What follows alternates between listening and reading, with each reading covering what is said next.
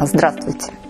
С вами Светлана Климова, генеральный директор и соучредитель консалтинговой компании «Консенсус». Сегодня мы поговорим о переходе с общей системы налогообложения с НДС на упрощенную УСН. Сейчас самое время, декабрь 2018 года. Именно в конце года, до 31 декабря, вы можете уведомить налоговый орган о применении другой системы налогообложения в следующем году. Чтобы сменить систему налогообложения, надо уведомить об этом ваш территориальный налоговый орган. То есть в Москве это не 46-я налоговая, а именно та, куда вы сдаете отчетность.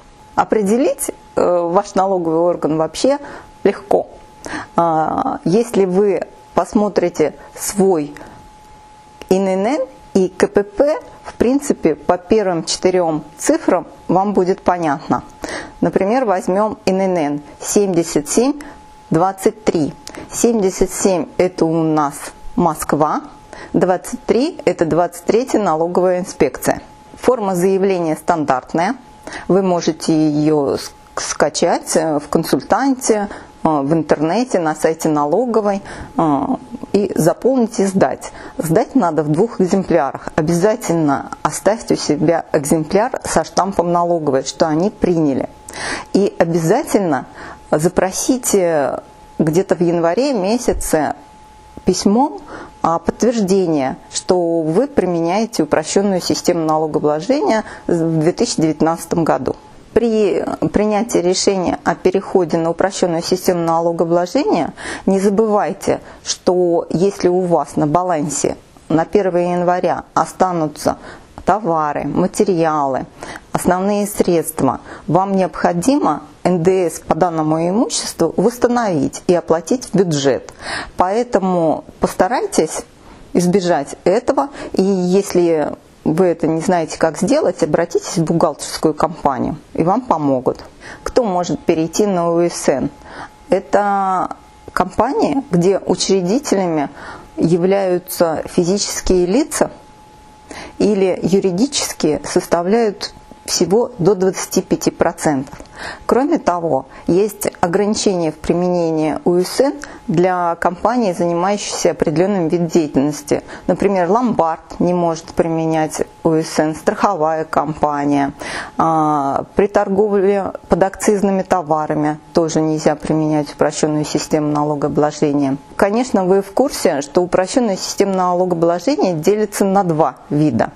А, вы можете выбрать 6% от дохода или 15% дохода минус расходы. Если вам необходимо посчитать, какой вариант выгоден именно для вас, также обращайтесь к профессионалам, а, бухгалтерам, специалистам по налогообложению.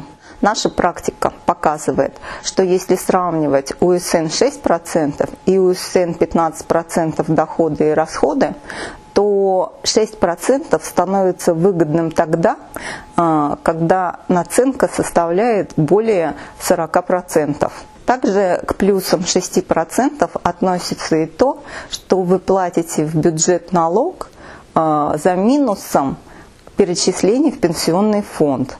То есть, в принципе, УСН 6% составляет 3%. Когда вы будете производить расчет сравнения систем налогообложения, имейте это в виду. Важным моментом при переходе на ОСН является то, что применяя упрощенную систему налогообложения, вы не будете платить НДС. И, возможно, это повлияет на ваши отношения с заказчиком, который нужен этот НДС. Если вы хотите сохранить данного заказчика, да, и ваша экономическая составляющая это позволит, вы можете именно с этой сделки заплатить НДС в бюджет, законом это не запрещено. Мы рассмотрели с вами вопрос о переходе на упрощенную систему налогообложения с января 2019 года. Если у вас остались еще какие-либо вопросы, переходите по ссылке ниже – с вами была Светлана Климова, генеральный директор и соучредитель консалтинговой компании «Консенсус».